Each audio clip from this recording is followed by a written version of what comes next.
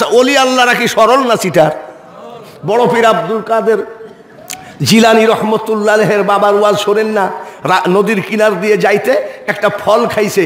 ফল খাইয়ে চিন্তা করে ফামাইয়া আমাল মিস কলা জারওয়াতিন সারওয়াইয়ার জারওয়াতিন খয়রইয়ার জাররা জাররা হিসাব দিতে হবে, কার ফল খাইলাম? খোঁজে খোঁজে সেই ফলের ফলের মালিকের বাড়িতে যাই, কয় চাষা অমুক নদীর কিনারে তোমার একটা ফল গাছ আছে নাকি? চাষা দেখতেছে চেহারা যা দেখা যায়, এলো তো অলি অলি ভাব দেখা যায়। আমার গাছ আছে, তুমি জানো কেমনে? বলে চাষা কিছু মনে করবেন না, একটা ফল খাইছি যে, মাপ করতে হবে। বলে, মাপ, তুমি ফল খাবা জোর জুলুম করে মাপ মাপ হবে না।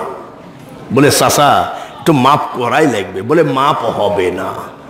চাষা হাতে ধরি পায়ে ধরি মাপ করাই লাগবে, জোরে বলেন, ফল কয়টা ফল কয়টা চাষা বলছে মাপ হবে না। আমরা হলে কি বলতাম? চাষা, তোমার বাপের ভাগ্য ভালো, মাপ চাইতে আসছি, যাও। মাপ না করলেও কিছু করার নাই, যাও।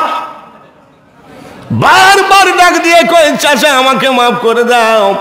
ফলের বাগানের মালিক কয় মাফ করতে পারি, বারো বছর আমার বাড়িতে গুলামি করবি। ফল কয়টা কয় বছর গুলামি? আচ্ছা আমরা কি ওরকম ফল কি খাই নাই নাকি? আমরা খাই না?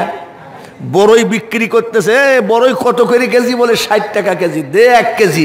ওই এক কেজি ওজন করতে করতে তো আড়াইশো মারি দিয়েছি। এক কেজি ওজন করতে করতে আড়াইশো মারি দিয়েছি। আমার আমার শালা আসছে আমার বাড়িতে বেড়াইতে, তো আমার শালা বলছে, এক কেজি আঙ্গুর নেব।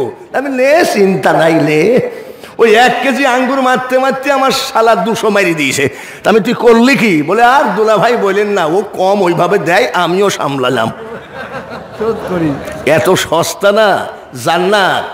জান্নাতের মধ্যে থাকবে কারা? একেবারে সাদা, একেবারে বেগুনা, একেবারে মাসুম জান্নাতের মধ্যে থাকবে।